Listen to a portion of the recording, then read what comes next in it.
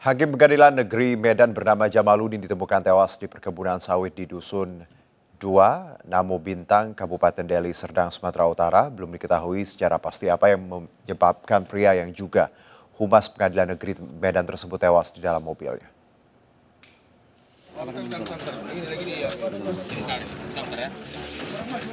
Dari video amatir warga ini terlihat pria yang diketahui bernama Jamaludin ini tewas dengan kondisi telentang di bangku belakang mobil pribadinya di perkebunan sawit milik warga di Dusun 2, Namo Bintang, Kabupaten Deli Serdang, Sumatera Utara.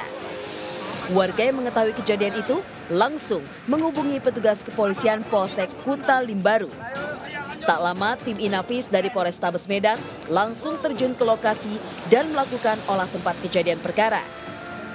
Kondisi korban saat itu masih di dalam mobil Prado miliknya yang bernomor polisi BK77HD. Mobil tersebut terlihat rusak di bagian depan dengan airbag keluar usai mobil menabrak batang sawi. Jenazah korban langsung dibawa ke Rumah Sakit Bayangkara Medan untuk dilakukan otopsi. Sementara kasus kematian Hakim Pengadilan Medan ini ditangani tim dari Polrestabes Medan. Dari Medan, Sumatera Utara, Aminur Rashid, iNews melaporkan.